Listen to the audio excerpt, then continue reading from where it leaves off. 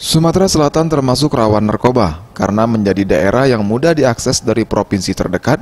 Begitu banyak jalur menuju ke Sumatera Selatan, terutama banyaknya jalur perairan menuju Sumatera Selatan. Provinsi Sumatera Selatan juga menjadi jalur transit pengiriman narkoba ke berbagai kawasan.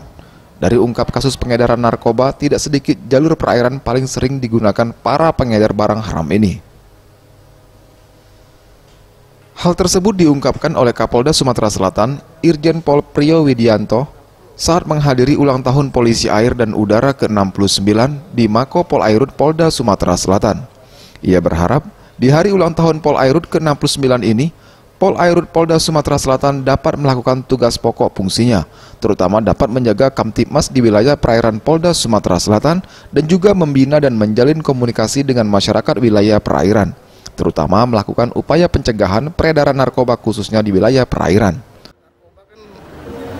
Maksudnya bisa lewat darat, bisa lewat perairan, ya laut maupun sungai. Jadi sudah sampaikan bahwa itu tugas pokok dan namanya pelayan juga untuk melakukan upaya pencegahan termasuk penegakan hukum terhadap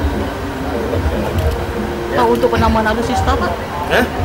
Alutsista kewenangan dari Mabes Polri. Oh, Nah, kita hanya menerima. belum ada Pak ya? Nah, kita hanya menerima ya. ya. Tim Liputan Sriwijaya TV